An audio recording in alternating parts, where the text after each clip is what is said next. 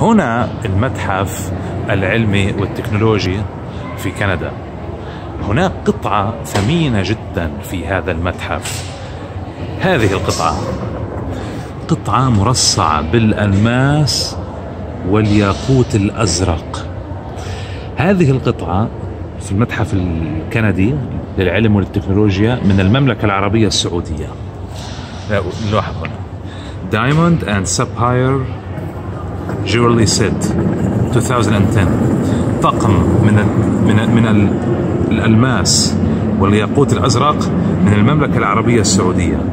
قصة هذه قصة هذه القطعة النادرة والثمينة أن رئيس وزراء الكندي ستيفن هاربر الأسبق زار المملكة العربية السعودية في عام 2010 وكانت زوجته لورين هاربر. لورين هاربر بصحبته في تلك الزيارة للمملكة ومنحت هذه الهدية الثمينة جدا لها. ياقوت أزرق نادر جدا وألماس. الآن لم يعد ستيفن هاربر هو رئيس الوزراء انتهت مدته.